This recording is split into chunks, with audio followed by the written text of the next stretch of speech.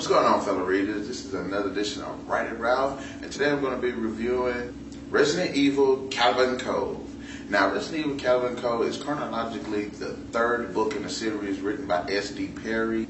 Resident Evil Caliban Cove follows the adventures of Rebecca Chambers, who's joined a new unit of stars trying to expose the Umbrella Corporation for the evil that it really is. And having heard that there's been experimentation, disappearances, and strange things happening in Caliban Cove, they go there to finally investigate. Now, in terms of a Resident Evil book, I really it was it was all right it was really all right book. I enjoyed the characters. I like how they interact with each other. How like how they adapted to the situations that they had gotten into when it came to the experiments. Now, one of the highlights of the book is the fact that the T virus was used in a, a, a different and unique way, and rather than sitting there and actually turning people into full-on zombies that, uh, that you couldn't control, that actually hunger for human flesh, they were actually used in a more militaristic type style and a form of mind control, which I really thought that was a good highlight of this book. Now, as in far as it compared to another Resident Evil book such as Umbrella Corporation, it has its ups and downs.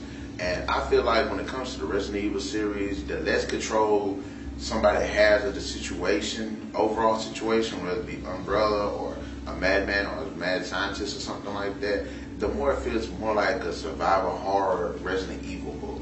And even though you do get the uh, sense that you are reading a Resident Evil book it, um, with Caliban Cove, it does have that crucial, miss that crucial element where, you know, it's just total chaos. Now, in my opinion, is it a good, solid read? Yes.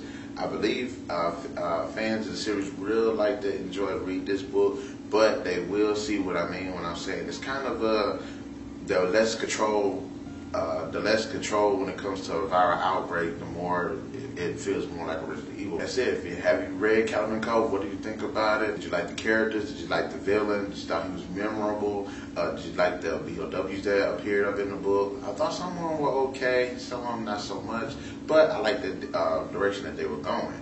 And don't forget to rate and subscribe and share on Facebook and Twitter. And I guess I'll see y'all guys in the next edition. It Ralph. And remember, keep reading.